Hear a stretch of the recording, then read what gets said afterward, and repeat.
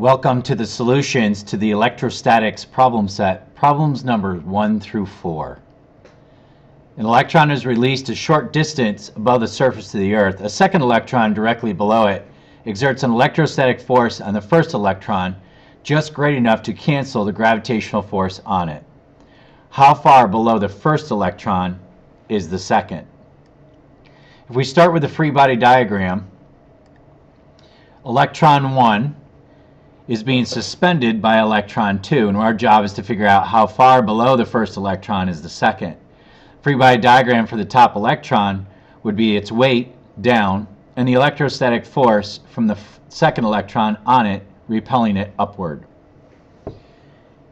Since electron 1 is in equilibrium, it makes sense that Fe equals mg.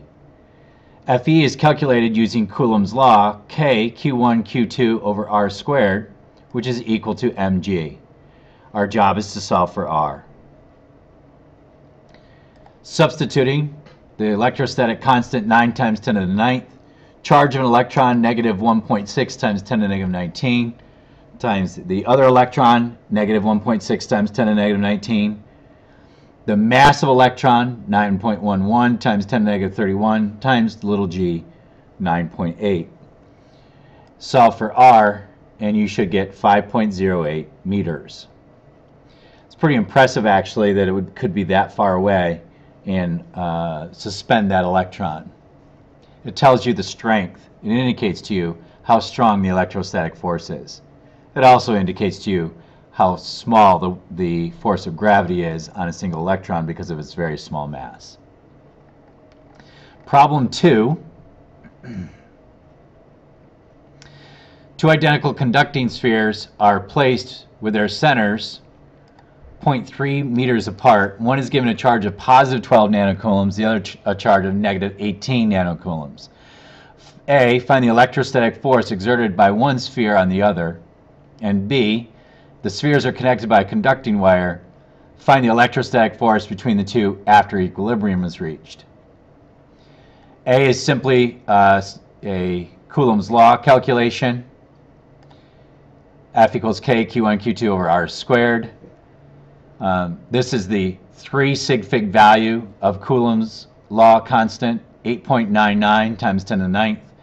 It's fine to use the 2 sig fig value of 9.0. 12 times 10 to the negative 9, uh, taking into account nano is times 10 to the negative 9. 18 times 10 to the negative 9 divided by 3.0 meters. Um, and remember to square that. For an answer, we get 2.2 times 10 to the negative 5 newtons. Um, the sign of that force is negative, but what that, that negative sign tells us when we use Coulomb's law is that it's a force of attraction.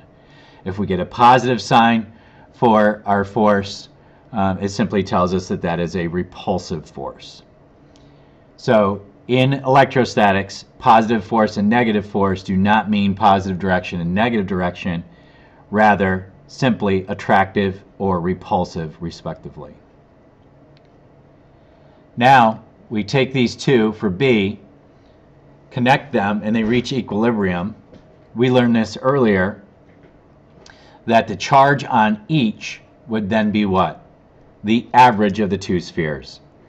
Positive 12 plus negative 18 is negative 6 divided by 2 gives us a negative 3 nanocoulombs on each. We now repeat Coulomb's law calculation, making those substitutions for the charges, and we get a new force of 9 times 10 to the negative 7 newtons. This force would be positive because each charge is negative, therefore a repulsive force. Problem number three. Three charges are arranged as shown in the diagram below. Find the magnitude and direction of the electrostatic force on the charge at the origin. Well, taking a look at this, we have a 5 nanocoulomb charge, which we'll call charge 1, at the origin. We have a 6 nanocoulomb charge out here on the x-axis. We'll call that charge 2. We have a negative 3 nanocoulomb charge down on the negative y-axis. We'll call that charge 3. What would charge 2 do to the charge at the origin? Well, it would repel it in the direction of the negative x-axis. We will call that force F2 since it's a force due to the second charge. What would charge 3 do to the charge at the origin? Well, since it is negative and the charge at the origin is positive, it would attract it. Now, simply by inspection of the information provided in the problem, we, we right away can tell that F3, the force of the third charge on the, or, on the charge at the origin, would be stronger than F2, the force of the second charge on the charge at the origin. How do we know that? Coulomb's law is an inverse square law. We note that this charge, 3, is closer, in fact, 3 times closer to the origin than charge 2. What that means is that it by distance alone would be 9 times, uh, its force by distance alone would be 9 times greater than the force due to charge 2. That means just to compensate and be equal, that charge 2 would have to have 9 times the charge as charge 3. And you can see that by inspection, charge 3 is 3, charge 2 is 6, so it does not have 9 times the charge. We know that F3 is going to be stronger than F2. So drawing our arrows respectively, not to scale necessarily, but just to give us a general idea, we know that the resultant force by drawing a parallelogram will be closer to the y negative y-axis than it will be closer to the negative x-axis. All right, now we're ready to start calculating. F2, the charge of 2 on 1, would be 9 times 10 to the ninth times 5 times 10 to the negative 9.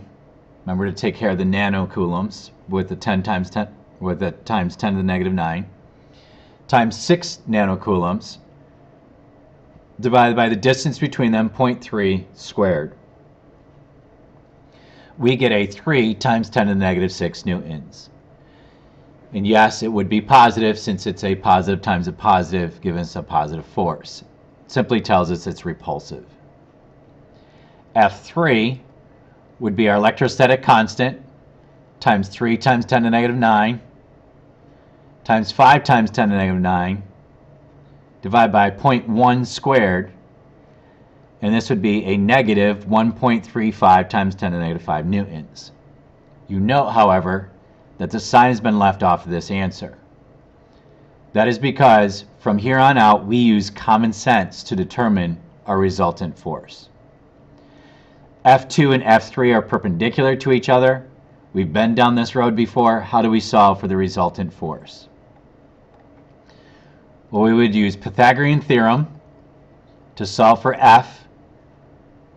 So f is the square root of f2 squared plus f3 squared. Substituting and then calculating, you should get a force of 1.38 times 10 to the negative 5 newtons. The angle, as indicated in the diagram, is going to be the y, the y uh, force in the y direction uh, over the force in the x direction we take the inverse tangent and we get an angle of 77.5 degrees. So for our final answer, F is 1.38 times 10 negative 5 newtons at 258 degrees. You can use the 77.5 degrees, but you have more to write if you do that. 77.5 degrees below the negative x-axis, for example, would be, would, would be a, an answer that would work. If you want to just express it just as an angle, give the true angle relative to the positive x-axis. Lastly, number four, three charges are arranged as shown in the diagram below. Find the magnitude and direction of the electrostatic force on the 6 nanocoulomb charge.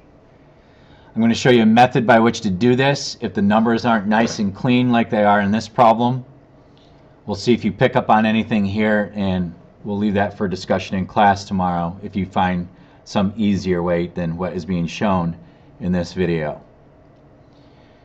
We have a 6 nanocoulomb charge that is 0.5 meters on the positive x-axis, a 3 nanocoulomb that's 0.5 on the positive y-axis, and a 2 nanocoulomb that is 0.5 on the negative y-axis. Our job is to find the resultant force on the 6 nanocoulomb charge.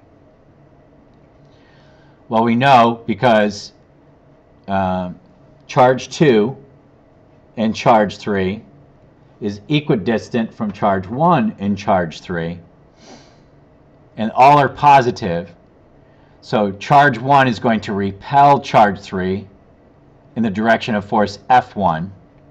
Charge 2 is going to also repel charge 3 in the direction of force F2. By inspection, we know that F2 is going to be greater than F1.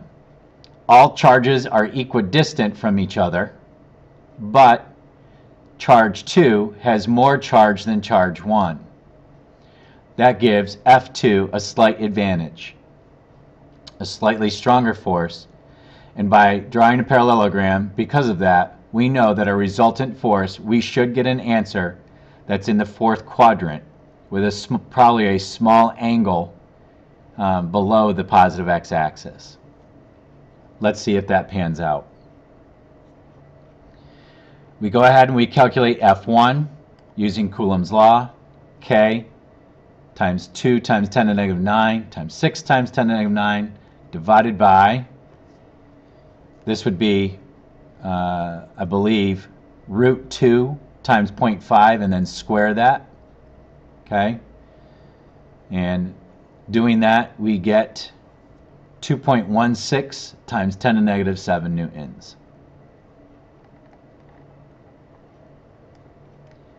For F2, K, Q, 3 times 10 to negative 9 times 6 times 10 to negative 9 divided by the same distance squared gives us 3.24 times 10 to negative 7 newtons.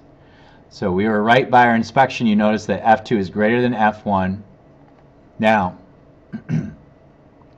to handle a problem like this, um, we now want to take each force and break it and use the method of rectangular components to solve for the net force. So I've developed my chart here. The x component and y component of force 1 would be 2.16 times 10 to the negative 7 times the uh, cosine of 45 degrees for the x component and 2.16 times 10 to the negative 7 times the sine of 45 degrees for the y component. Likewise, for our F2 x and y components, it will be 3.24 times 10 to the negative 7 times the cosine of 45 degrees 3.24 times 10 to the negative 7 times the sine of 45 degrees for the y component. Remember that the force 2 is in the fourth quadrant, so it has a positive x component and a negative y component. We now calculate the components of the resultant force. We add these two to get 3.82 times 10 to the negative 7, and we add these two, which in reality means we're subtracting them, to get a negative y component of 7.61 times 10 to the negative 8. From here, we do Coulomb, I'm sorry, Pythagorean theorem to get the magnitude of the resultant. Since these two components are perpendicular to each other, we get 3.90 times 10 to the negative 7 newtons. We then do an inverse tangent calculation to get the angle between them 11.3 degrees. If you actually truly did that, I believe you're getting negative 11.3 degrees. Taking that all into consideration, our final answer, 3.90 times 10 to the negative 7 newtons at 349 degrees from the positive x-axis, or you could say negative 11.3 degrees. We all know that that's negative, that's 11.3 degrees below the positive x-axis. All right, um, more to come as we complete problems 5 and 6 in class tomorrow.